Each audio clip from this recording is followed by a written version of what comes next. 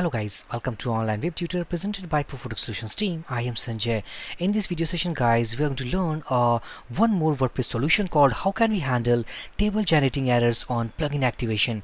And also guys, if you are a beginner to this channel, please don't forget to subscribe and keep watching other playlist of WordPress to get the clear concept about WordPress customizations.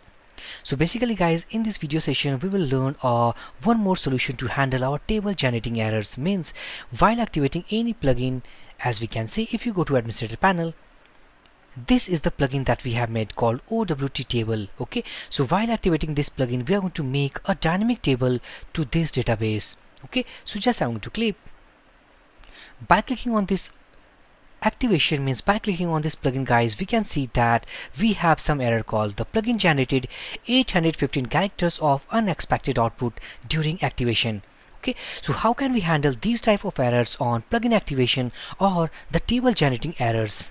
So basically guys to handle these errors we have simple steps that we have to follow to make our dynamic table to our database. Okay so we have to follow this documentation. This is the official website of WordPress. It has made a well documentation about creating tables with plugins. Okay so this is the link that I have provided okay so by following this link guys you actually study about the whole concept of creating tables with plugins. Okay so let's go to browser. We want to create our dynamic table to database. Okay so if you go to editor this is the plugin so far we have made called OWT table and rest all the informations regarding our plugin okay? So now we have made a simple function as you can see. This function actually will fire by activating our plugin. This is the function that we have used. This is a WordPress function. Okay? Basically while activating this plugin this function will fire and this will make a call to this callback function. Okay? So right now there is no code inside this function so we are not going to create any table right now okay so let me go to our database. So basically let's create a table manually. Okay so let's say wp owt let's say playlist. Okay so basically this table contains four columns. Okay so let's say id title or name let's say number of videos and finally let's say number of users. Okay so these are the four columns guys we have assigned to this table. Okay so it should be int it should be called varchar something called 255 in length int and int already okay? So we have to specify the length for that okay? So 11th is okay. So just scroll there and now by clicking on this auto increment guys we're going to make our first id column primary key okay? So we have made the primary column to this id section okay? And also let's make rest of the columns to null value okay? So finally if we go there and click on save button we have created our table called WPOWT playlist. Okay? So why we have made this table? We want to actually get this table code from our php myadmin we can make our custom code to generate this table too. Okay? So but for saving time we have made actually our manually table and just copy the table name go to sql and let's say that. So create table and table name okay? So by pressing enter guys we can actually get the code to create this table. Okay? So just I'm going to press control enter. Okay? So this is the code that we actually got. Okay? So let me copy that. By copying this code guys just make copy. Go to slides open a new tab and this is the code that we have generated. Okay? So this is php myadmin system generated code. We can actually write this own code by itself okay? For just saving time we have actually generated this code from our php myadmin. Okay? So what basically we want?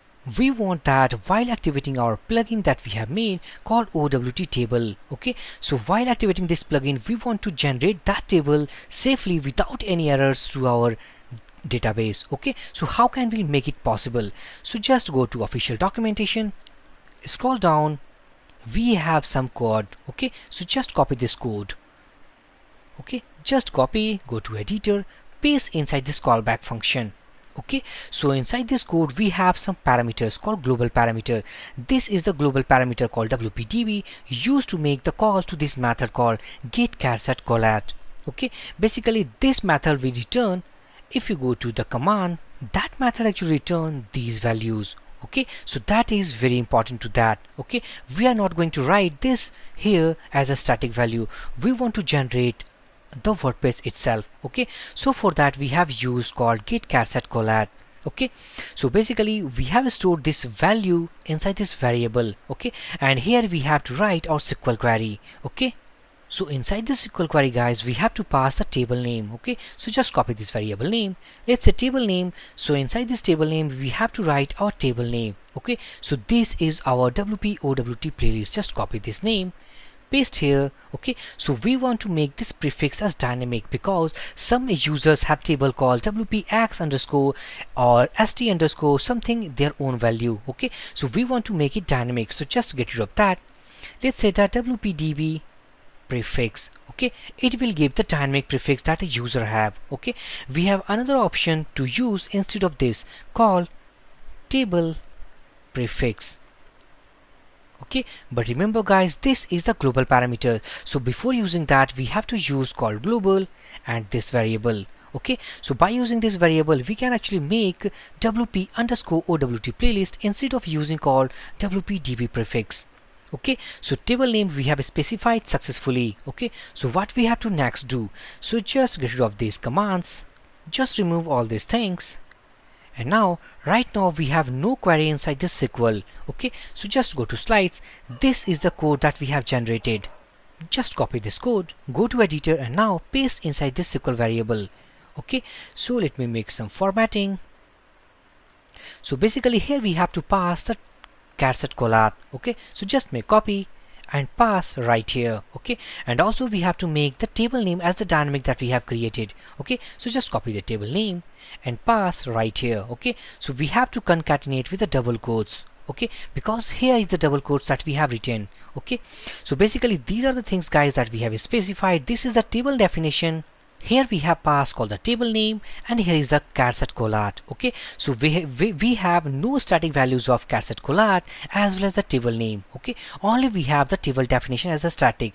Rest all of the information we have passed as a dynamic value okay? So finally creating the SQL variable we have to pass this SQL variable inside db delta function okay? So db delta function guys actually this function has defined inside this upgrade.php file. So that's why we have to import this file before using the function okay? So by by using this function we have to pass this parameter inside this function so just save this file. So before creating that table guys we have to actually delete that table that we have created manually inside this database okay? So first of all we have to delete that database table okay? So this is the table that we have created. So first of all we have to drop that. So successfully we have deleted okay? So now right now we have 12 tables only on this database okay? So by saving this file go to our administrator panel reload this page and now let's create or click on this OWT table. So just I'm going to click on activate button. So successfully we have activated that. So if we move to our database now and refresh this structure. So as we can see that we have successfully created our table dynamically without any errors. Okay? So these are the steps guys that we have to follow to create a dynamic table without any errors without any table generating errors to our WordPress plugin okay? So this is the first table that we have created. Okay? So if you want to create more tables guys then you need to generate that code from phpMyAdmin and now by copying that code actually you need to paste all that code here. You need to arrange the table name and the char set collat rest all the informations and you have to pass inside db delta. Okay? So let's create one more table to understand clearly. Okay? So just i'm going to click and create new table called wp list users okay? So basically it will contain let's say five columns okay? So let's say id name email let's say phone number and address okay? So basically these are the columns actually associated with the list of users okay? So basically it should be varchar it should be varchar it should be also varchar and finally it should be text okay? So let's pass size called 255 email should be called 130 and it should be called 15 and text should be infinite of length okay? First of all we have to make this primary key okay? So just scroll here. Click on auto increment and this should be primary key okay? While if you go, don't get any pop-up you need to click on this drop down and you have to select called primary okay? So just scroll down and click on finally on save button okay so by clicking on save button we have actually created our table manually. So just copy this table name go to SQL tab and let's go so create table and finally the table name. Why we are doing so? Because we are going to generate the php myadmin auto generated system code. Okay so just control enter. And finally this is the code. Click on options full text go and this is the code. Okay so just i'm going to copy this code go to slides. And this is the second table that we have created. Go to editor. Clicking on enter. And this is called wp list users. Okay? This is for the second table. Okay? Copy all these codes that we have made so far. Paste right here. char set collat should be same okay? And our table name also should be same. No it's not should be same because this time we are going to generate called wp list users. Okay? So just copy the list users only because wp prefix we are passing right here. Okay? So just replace with that. And finally we have passed table name and the char set collat only we have to change the table definition. Okay? So just go to slides. Let's copy all this id section. Copy that and replace all these codes here okay so successfully guys we have made our table definition dynamic as well as the table name and the char set collat. Okay so let's say that SQL to list users. Okay so copy this variable name and pass inside this db delta. Okay so if we save this file right now we are creating two tables on plugin activation. Okay this is the first table called OWT playlist and the second table we have specified called list users okay so just save this file. Go to browser. So first of all we have to drop all the tables that we have created. Okay so WP list users and WP OWT playlist with selected call drop operation. Yes. So we have dropped all the tables that we have created. Go to plugin reload this page. So first of all we have to deactivate that okay? So plugin deactivated successfully. So while activating this plugin guys we are going to create two tables. So just I'm going to click on activate and plugin activated successfully. So if you go to our database reload this page. So we have successfully created two tables called WP list users and WP OWT playlist.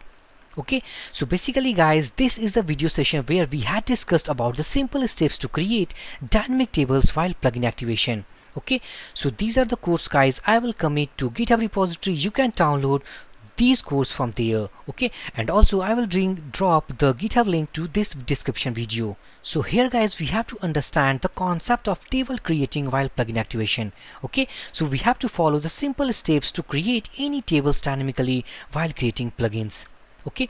So in this video session guys if you have any query then please drop your comment. I will give my reply as soon as possible. So for this video session guys thank you for watching. Have a great day